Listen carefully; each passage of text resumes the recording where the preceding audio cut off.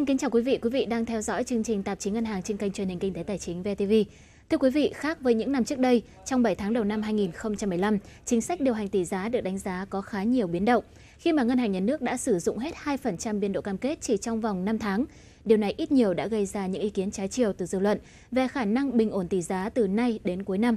Chưa dừng lại ở đó, vào ngày 12 tháng 8, thì Ngân hàng Nhà nước lại tiếp tục tăng biên độ tỷ giá từ cộng trừ 1% lên cộng trừ 2%. Đây là lần đầu tiên sau gần 5 năm, Ngân hàng Nhà nước quyết định điều chỉnh biên độ tỷ giá. Vậy những diễn biến của tỷ giá thời gian qua có tác động như thế nào đến ngân hàng và doanh nghiệp? Áp lực tỷ giá từ nay đến cuối năm còn lớn hay không? Tạp chí Ngân hàng tuần này xin dành thời lượng để phân tích chuyên sâu về vấn đề này. Mời quý vị cùng theo dõi. Trước hết mời quý vị cùng điểm lại những mốc biến động đáng chú ý của tỷ giá trong hơn 7 tháng qua. Ngày 7 tháng 1, Ngân hàng Nhà nước điều chỉnh tỷ giá bình quân liên ngân hàng thêm 1%. Theo đó, tỷ giá bình quân liên ngân hàng giữa đồng Việt Nam và đồng đô la Mỹ áp dụng cho ngày 7 tháng 1 năm 2015 sẽ từ mức 21.246 đồng trên đô la Mỹ lên 21.458 đồng trên đô la Mỹ. Với biên độ tỷ giá cộng trừ 1% so với tỷ giá bình quân liên ngân hàng, tỷ giá trần là 21.673 đồng trên đô la Mỹ, tỷ giá sàn là 21.243 đồng trên đô la Mỹ. Tại thời điểm đó, việc tỷ giá bất ngờ tăng thêm 1% khiến nhiều doanh nghiệp cảm thấy hoang mang, đặc biệt là khi thời điểm cận Tết Nguyên đán đang đến, nhu cầu ngoại tệ của doanh nghiệp tăng cao. Tóm lại là rất là nhiều các cái vấn đề liên quan đến tiền tệ. Thế nhưng mà tăng vào cái thời điểm này thì đương nhiên đã tăng thì là khó khăn với doanh nghiệp rồi. Nói không khó khăn là không đúng chỉ có điều các cái doanh nghiệp người ta nếu những cái đơn, những cái đơn vị doanh nghiệp nào mà người ta ừ, đã có một cái, cái, cái sự chuẩn bị từ trước thì thì cũng không có cái gì là là là là bất ngờ lắm nhưng mà đối với những đơn vị mà ờ, mà mà mà không có cái sự chuẩn bị từ trước thì đương nhiên nó cũng là một cái khó khăn cũng không phải là lớn nhưng cũng không phải là nhỏ không dừng lại ở đó đến ngày 7 tháng 5 chỉ sau đó 4 tháng trước diễn biến tăng khá mạnh của đồng đô la Mỹ ngân hàng nhà nước lại tiếp tục có hành động điều chỉnh lần thứ hai khi đưa tỷ giá lên mức là 21.673 đồng trên đô la Mỹ. Chỉ trong vòng 5 tháng đầu năm 2015, Ngân hàng Nhà nước đã điều chỉnh tỷ giá hai lần và tăng hết biên độ 2% cho cả năm. Trước những diễn biến của thị trường, trong phiên họp chính phủ thường kỳ tháng 5, Thủ tướng Chính phủ đã yêu cầu Ngân hàng Nhà nước Việt Nam theo dõi sát thị trường để điều hành chính sách tiền tệ theo hướng ổn định tỷ giá và thị trường ngoại hối, góp phần ổn định kinh tế vĩ mô. Phía Ngân hàng Nhà nước cũng khẳng định sẽ sẵn sàng bán hết ngoại tệ can thiệp để ổn định tỷ giá trong biên độ cam kết 2%. Tuy nhiên đến ngày 12 tháng 8, trước sức ép của Trung Quốc phá giá đồng nhân dân tệ, Ngân hàng Nhà nước có thông báo tăng biên độ tỷ giá giữa đồng tiền Việt Nam và đồng đô la Mỹ được điều chỉnh tăng cộng trừ 1% lên cộng trừ 2%. Với tỷ giá bình quân liên ngân hàng từ mức 21.673 đồng trên một đô la Mỹ, biên độ tỷ giá mới sẽ cho phép tỷ giá biến động trong phạm vi mức tỷ giá trần là 22.106 đồng trên một đô la Mỹ và tỷ giá sàn sẽ ở mức là 21.240 đồng trên đô la Mỹ. Trước đó, lần gần nhất Ngân hàng Nhà nước điều chỉnh biên độ tỷ giá là vào ngày 11 tháng 2 năm 2011. Khi đó, biên độ giao dịch được giảm từ cộng trừ 3 xuống cộng trừ 1. Cùng với đó, cơ quan quản lý đã nâng tỷ giá liên ngân hàng ở mức cao kỷ lục là 9,3%, từ mức 18.932 đồng lên 20.693 đồng. Biên độ hẹp cộng trừ 1% này đã được duy trì gần 5 năm qua. À, tôi nghĩ rằng là đây là một cái động thái nó cũng phản ứng nhanh và tương đối phù hợp về mặt thời điểm.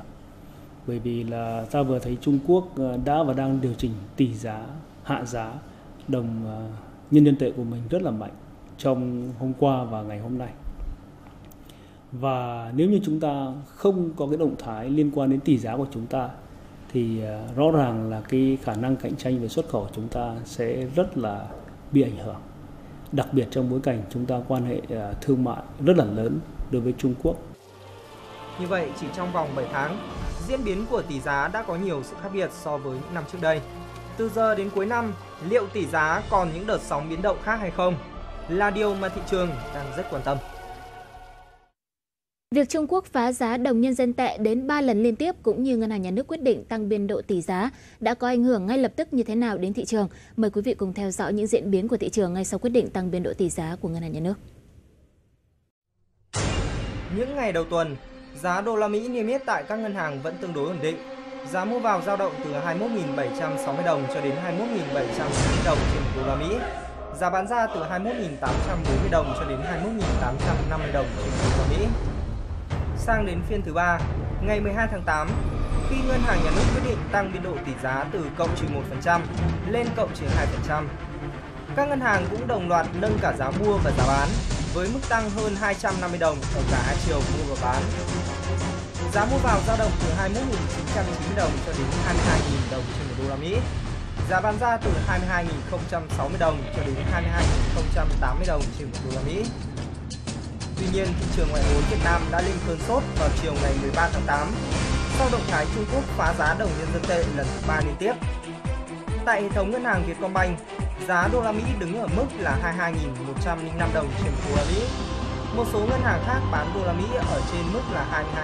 22.100 đồng trên đô la Mỹ, mua vào ở mức là 22.000 cho đến 22.035 đồng trên đô la Mỹ. Sang đến ngày 14 tháng 8, các ngân hàng tiếp tục giữ tỷ giá ở mức kỳ trần. Tại ngân hàng Vietcombank, đồng đô la Mỹ được niêm yết giá ở mức là 22.035 đồng cho đến 22.105 đồng. Tại BIDV, đồng đô la Mỹ được mua vào với giá là 22.065 đồng. Giá mua vào thấp nhất trên thị trường là 22.000 đồng trên đô la Mỹ, trong khi giá mua vào cao nhất là 22.070 đồng trên đô la Mỹ. Giá bán ra thấp nhất là 22.075 đồng trên một đô la Mỹ và giá bán ra cao nhất là 22.106 đồng trên đô la Mỹ. Thưa quý vị, chỉ một ngày sau khi Ngân hàng Nhà nước Việt Nam điều chỉnh biên độ tỷ giá thì thị trường liên ngân hàng tiếp tục có những điều chỉnh. Các ngân hàng thương mại điều chỉnh tỷ giá niêm yết theo thị trường để kịp thời cân đối nhu cầu cho các khách hàng. Điều đó khiến cho nhiều doanh nghiệp, nhất là doanh nghiệp xuất khẩu, đang tỏ ra khá lo lắng, đau đầu. Họ phải tìm biện pháp đối phó với biến động tỷ giá. Là doanh nghiệp chuyên lắp ráp và phân phối các dòng xe tải tại thị trường trong nước, công ty cổ phần ô tô TMT chủ yếu nhập khẩu các loại xe và linh kiện ô tô từ thị trường Trung Quốc. Hai bên đã chọn đô la Mỹ làm đơn vị tiền tệ giao dịch chính, do đó động thái điều chỉnh tỷ giá của Ngân hàng Trung ương đã làm thay đổi triển vọng kinh doanh của TMT. Ở đây nó có một vấn đề là liên quan đến dây chuyền giữa tất cả các nước với nhau thì khi các nước công ty xuất khẩu của Việt Nam sang xuất hàng theo Trung Quốc thì sẽ bị ờ, thiệt về vấn đề là đồng nhân tệ mất giá thì sẽ bị cạnh tranh với các loại hàng hóa của Trung Quốc. Như vậy nó lại dẫn đến dây chuyền là phía Việt Nam cũng sẽ điều chỉnh lại tỷ giá của đồng Việt Nam đối với lại đồng đô la. Thế như vậy thì ngược quay vòng trở lại thì TMT lại phải mua đồng đô la với giá cao hơn. Thế như vậy là rõ ràng là chúng ta đang bị ảnh hưởng về cái mặt là giữa các công ty ừ, xuất khẩu và những công ty nhập khẩu. Cũng như TMT, các doanh nghiệp hoạt động trong lĩnh vực xuất nhập khẩu cũng đứng ngồi không yên mỗi khi tỷ giá biến động. Cái việc uh, uh, Trung Quốc phá giá nhân dân tệ rồi uh, tiền đô la lúc lên thì lúc đô la Mỹ lúc lên lúc xuống và những mỗi lần cái sự kiện thì là một lần lại có sự thay đổi và và à, khó khăn cho doanh nghiệp. Theo các chuyên gia kinh tế, những thay đổi về tỷ giá sẽ khiến hàng xuất khẩu của Việt Nam sang nhiều thị trường sẽ chịu áp lực đáng kể. Cộng thêm nhu cầu nhập khẩu một lượng lớn nguyên vật liệu máy móc thiết bị cho hoạt động sản xuất trong nước, thì mức độ thâm hụt thương mại trong năm nay sẽ càng mở rộng. Đồng đồng Việt Nam bị neo vào đồng đô với một cái cái cái tỷ giá cao như vừa rồi thì rõ ràng là bản thân cái việc xuất khẩu của chúng ta sang các thị trường chủ lực như EU và Nhật Bản cũng đã suy giảm. Như vậy thì một mặt là xuất khẩu sang các thị trường suy giảm, một mặt thì nhập khẩu từ Trung Quốc lại tăng thì khiến cho cái cái cân bằng tổng thể của toàn bộ cái cán cân thương mại cái vấn đề nhập siêu nó sẽ sẽ rất là lớn tức là chúng ta không chỉ lo về nhập siêu đơn thuần với Trung Quốc mà vấn đề nhập siêu tổng thể cũng có thể trở thành một cái cái vấn đề mới của nền kinh tế Việt Nam đặc biệt trong cái triển vọng 2015 này. Đứng trước áp lực tỷ giá tăng, muốn tiêu thụ được hàng hóa, buộc các doanh nghiệp phải đẩy mạnh sản xuất, tăng năng suất lao động cũng như cắt giảm tối đa các chi phí mới có thể cạnh tranh và xuất khẩu hàng hóa vào thị trường Trung Quốc. Cũng tạo ra một cái áp lực đối với cả các cái À, doanh nghiệp Việt Nam trong cái cái cái áp lực là phải đổi mới cái năng lực cạnh tranh và đổi mới cái nâng cấp cái cái kỹ thuật cái công nghệ của mình để có thể gia nhập vào các cái nước thang cao hơn trong cái chuỗi giá trị và cái chuỗi sản xuất của khu vực vì rõ ràng là nếu mà chúng ta cứ chạy theo cái cuộc đua về tỷ giá như thế này thì cái áp lực đổi mới nâng cấp cơ cấu ngành là rất là hạn chế ngay từ lúc này, chính phủ phải có giải pháp đối phó bằng các rào cản thương mại kỹ thuật phù hợp với các hiệp định đã ký kết, đồng thời ngăn chặn hiệu quả hàng lậu nhập khẩu qua biên giới. Về phía doanh nghiệp, việc phải làm trước mắt là thắt lưng buộc bụng, giảm giá đầu vào, giảm chi phí. Về lâu dài, doanh nghiệp cần nâng cao năng lực nội tại, đầu tư áp dụng công nghệ, tiến bộ kỹ thuật, chủ động tìm thị trường mới, kể cả nguồn nguyên liệu hoặc hình thức thanh toán bằng đồng tiền có tính ổn định cao, tránh lệ thuộc lớn vào thị trường Trung Quốc.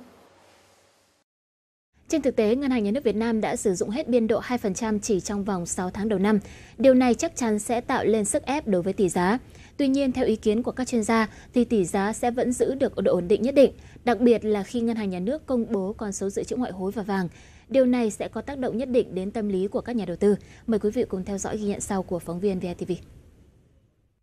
Dù đồng nhân dân tệ bất ngờ phá giá mạnh trong bối cảnh kinh tế vẫn còn nhiều bất ổn, khiến cho ngân hàng nhà nước phải quyết định tăng biên độ tỷ giá từ cộng trừ 1% lên cộng trừ 2%. Tuy nhiên, theo đánh giá của phía chuyên gia, từ giờ đến cuối năm vẫn còn nhiều yếu tố giúp cho tỷ giá giữ ổn định. Theo số liệu mới nhất của Ngân hàng Nhà nước, dự trữ ngoại hối của Việt Nam đến cuối tháng 7 năm 2015 đã đạt 37 tỷ đô la Mỹ, riêng vàng là 10 tấn. Đây là lần đầu tiên kể từ cuối năm ngoái, số liệu quỹ dự trữ ngoại hối được người đứng đầu ngành ngân hàng cập nhật công khai. Đây cũng là lần đầu tiên thống đốc công bố số lượng vàng mà Việt Nam dự trữ được. Với những con số trên thị trường, có thể yên tâm phần nào về nguồn lực và mức độ sẵn sàng của ngân hàng nhà nước khi can thiệp thị trường. Ờ, việc mà ngân hàng nhà nước đưa ra những con số như thế là mang tính chấn an dư luận Ờ, và một cái thông điệp mà ngân hàng nhà nước đưa đến cho dư luận là ngân hàng nhà nước đầy đủ những cái công cụ dự trữ quốc gia cũng như khả năng để mà giữ tỷ giá ổn định uh, tại cái mức hiện tại ờ, từ đây đến cuối năm mà không phải điều chỉnh thêm một lần nữa. Nếu mà coi như là cái lực mua trên thị trường nó cao nhà nước sẵn sàng đó là hỗ trợ cho các ngành thương mại về cái nguồn cung để mà hỗ trợ thị trường. Từ đó mà có thể khẳng định rằng là trong suốt thời gian vừa qua cái cung cầu ngoại tệ của thành phố Hồ Chí Minh là không có dấu hiệu căng thẳng mọi nhu cầu chính đáng về ngoại tệ của người dân hay là của doanh nghiệp đều được đáp ứng đầy đủ. Yếu tố thứ hai, lạm phát 7 tháng đầu năm 2015 có mức tăng trưởng thấp nhất trong 10 năm trở lại đây. Thông thường, một nước có lạm phát tăng cao, đồng tiền của họ có xu hướng bị mất giá, nhưng lạm phát của Việt Nam vẫn đang ở mức thấp. Do vậy, áp lực của lạm phát lên tỷ giá không nhiều. Hiện tại thì ờ, lạm phát ừ, từ đầu năm đến giờ mới tăng được không đến 1% và cho cả năm thì nhiều ờ, cơ quan, nhiều viện nghiên cứu dự báo là nó chắc chắn ở dưới 5% và có khả năng sẽ dừng lại ở mức 3%. Thì nếu lạm phát của cả năm ở mức thấp như thế, thì đây là một cái yếu tố hỗ trợ cho tỷ giá. Tại vì nếu mà lạm phát thấp thì nó tạo ra cái lòng tin của tất cả các thành phần kinh tế vào giá trị của tiền đồng. Ngoài ra, theo đánh giá của các chuyên gia thì Việt Nam vẫn còn thu hút được ngoại tệ từ những nguồn khác như FDI, bởi cho đến cuối tháng 7 thì nguồn FDI giải ngân đạt khoảng 7,4 tỷ đô la Mỹ. Điều này một lần nữa khẳng định việc ổn định tỷ giá với sự điều hành nhất quán của ngân hàng nhà nước. Trước những thắc mắc của dư luận, phía Ngân hàng Nhà nước đã có những lý giải khá rõ ràng về quyết định điều chỉnh tỷ giá của mình cũng như chính sách điều hành tỷ giá trong thời gian tới. Mời quý vị cùng theo dõi. Ngay từ đầu năm, Ngân hàng Nhà nước cũng đã dự báo sẽ có những diễn biến bất thường, ảnh hưởng bất lợi đến tỷ giá và xuất khẩu của nước ta, nên Ngân hàng Nhà nước đã chủ động điều chỉnh giảm giá đồng Việt Nam 2%. Do vậy, thị trường ngoại hối và tỷ giá về cơ bản là ổn định trong hơn 7 tháng qua. Tuy nhiên, CNI được điều chỉnh là giảm 1,9% trong ngày 11 tháng 8 năm 2015, là mức giảm giá mạnh nhất trong vòng hai thập kỷ qua. Là một cú sốc mới từ bên ngoài, kéo theo một loạt đồng tiền châu Á chủ chốt khác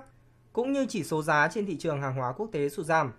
Bởi vậy, việc Ngân hàng Nhà nước nới biên độ tỷ giá lên 2% nhằm tạo sự chủ động, linh hoạt cho tỷ giá. Thế và cũng từ đầu năm đến nay thì Ngân hàng Nhà nước cũng đã ờ, dự báo được những cái diễn biến Ờ, của thị trường ờ, tài chính quốc tế ờ, đến tỷ giá cũng như là hoạt động xuất khẩu của Việt Nam. Thì vì vậy Ngân hàng Nhà nước đã chủ động điều chỉnh tăng tỷ giá bình quân liên ngân hàng hai lần, tổng cộng mức điều chỉnh là 2%. Và vì vậy, vì vậy thì thị trường ngoại hối và tỷ giá thì về cơ bản là ổn định trong hơn 7 tháng qua. Tuy nhiên rằng trong ngày 11 tháng 8 thì à, ngân hàng nhân trung ương Trung Quốc đã điều chỉnh giảm giá đồng nhân dân tệ 1,9%. Và đây là một cái cú sốc mới và kéo theo à, cái sự giảm giá của một loạt các cái đồng tiền chủ chốt trong khu vực châu Á và xét thấy là Trung Quốc cũng như là các nước à, trong khu vực châu Á lại là cái nhóm đối tác thương mại lớn của Việt Nam và cái việc Việt Nam thì lại có nhập siêu rất là lớn từ Trung Quốc cho nên là việc giảm giá của các đồng tiền trong khu vực này thì sẽ có những cái diễn biến tác động bất lợi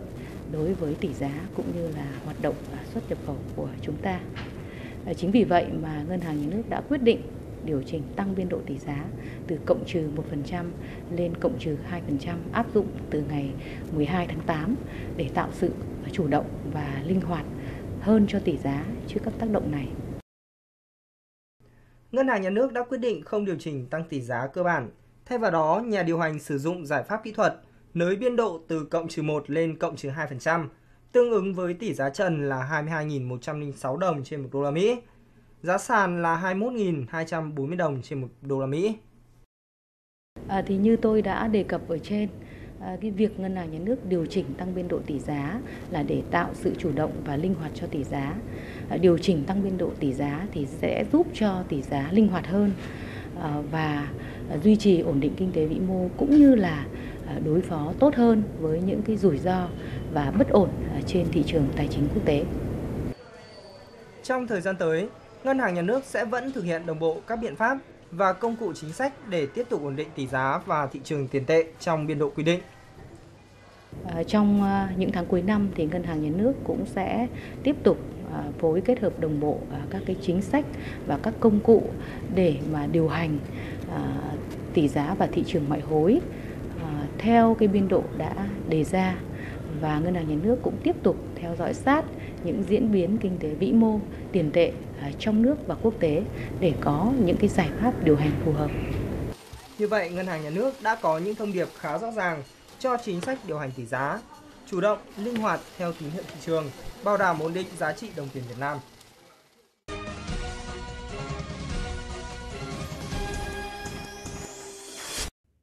Phóng sự vừa rồi đã khép lại chương trình tạp chí ngân hàng. Quý khán giả có thể xem trực tuyến hoặc xem lại chương trình của chúng tôi trên website www.vitv.vn hoặc cập nhật thông tin qua Facebook của kênh truyền hình kinh tế tài chính VTV. Xin kính chào và hẹn gặp lại quý vị trong những chương trình sau.